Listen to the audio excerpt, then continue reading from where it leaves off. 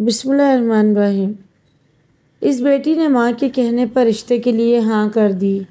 मंगनी हुई, मंगेतर से रबता हुआ। लेकिन ये क्या, जब भी अपने मंगेतर से बात करती तो उदास हो जाती, रोने लग जाती।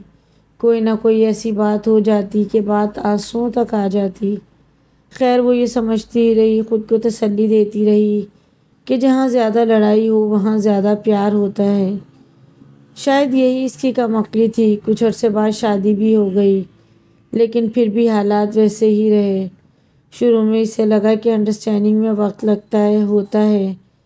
ऐसा भी कंप्रोमाइज़ करने लगी। कभी कभी अपने शौर को एहसास भी दिलाती रही कि हम एक बेहतरीन रिश्ते में मुंसलिक हैं। शौर तवज्जो भी देता था, प्यार भी देता, लेकिन इग्नोर भी करता रहा। इस लड़की ने अपने शौहर के वालदेन को दिल से अपने वालदेन मान लिया था। जब भी इसका शौहर अपने वालदेन से सख्त कलामी करता तो इस लड़की के दिल पर चोट लगती, इसे समझाती, अल्लाह के बंदे माँ बाप बहुत बड़ी नेमत हैं, रहमत हैं। इनसे पूछिए जिनके पास वालदेन जैसी दौलत नहीं। खैर, ज़िंदगी चलती रही इस लड़की के शौहर के दिल पर। इसकी पहली मोहब्बत दिल के किसी कोने में मौजूद थी। वही वो हीले बहानों से अपनी इस मोहब्बत की खबर रखता था, जिसकी खबर इस लड़की को भी हो गई। इसने बस अपने रब से इल्तिजा की क्या है मेरे अल्लाह, तू मेरे दिल के हाल से बाखूबी वाकिफ़ है। या अल्लाह, तू दिलों में मोहब्बत के चराग जलाता है। ए मेरे मौला ए मेरे मालिक, तू मेरे शौहर के दिल में मेरे लिए मोहब्बत कायम कर। जब भी इसे मालूम पड़ता है कि इसके शौहर ने अपनी सबका मोहब्बत से रबता किया तो अपने रब के सामने यही दुआ करती और सोचती कि निकाह में तो बहुत बड़ी ताकत होती है। अल्लाह ज़रूर इसकी मदद करेगा।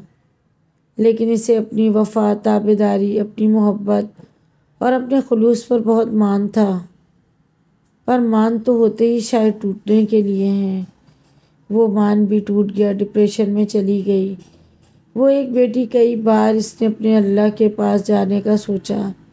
लेकिन अल्लाह से बढ़कर इंसान को कोई भी नहीं प्यार कर सकता। इस्लामी तालीमत इसे ख़ुदकुशी से बाज रखती रहीं और एक दिन इसी डिप्रेशन में वो किसी से शिकवा किए बगैर अपने खालिक हकीकी से जा मिली। हमारे माशरे में बहुत से ऐसे केसेस होते होंगे। कहीं औरत मज़लूम तो कहीं मर्द बेचारे। लेकिन क्या हम बहसीत मुसलमान? निकाह के बाद सिर्फ़ अपने हम सफ़र के नहीं हो सकते। हैं मज़ीद ऐसी वीडियोज़ के लिए चैनल को ज़रूर सब्सक्राइब करें। वीडियो पसंद आए तो लाइक, शेयर करने कीजिए